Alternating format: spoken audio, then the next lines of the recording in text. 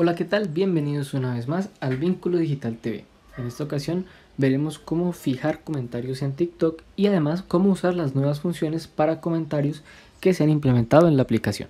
Antes de comenzar me gustaría hacer una pequeña aclaración y es que este tipo de funciones normalmente se liberan de manera gradual, es decir que puede que algunos de ustedes todavía no les aparezcan así tengan la aplicación actualizada.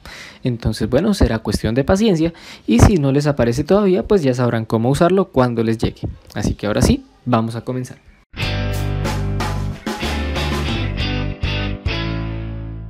Bien, ya estamos aquí dentro de nuestra sección de comentarios y quizá una de las funciones eh, más útiles que tenemos ahora es que podemos anclar comentarios para que no se pierdan en caso de que hayan muchos.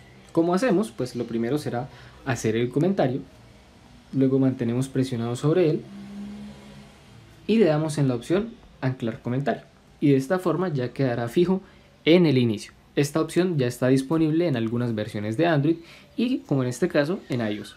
Pero bueno, como dije hace un momento, se liberará de manera gradual, igual que la función de adelantar o atrasar videos que explicamos hace unas semanas. ¿Cuáles son las otras funciones que nos permitirá esta actualización? Ahora veremos este pequeño icono en la parte izquierda de arriba. Vamos a verlo otra vez.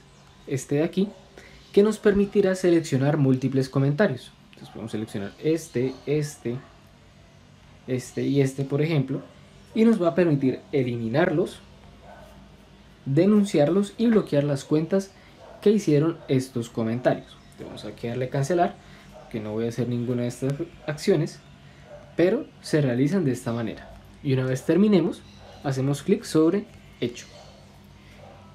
Y bien, estas son las nuevas funciones muy útiles, por cierto, que se han implementado en los comentarios de TikTok. Si les gustó este video, no olviden darle like, compartirlo y suscribirse a nuestro canal. Nos vemos en una próxima ocasión. Hasta luego.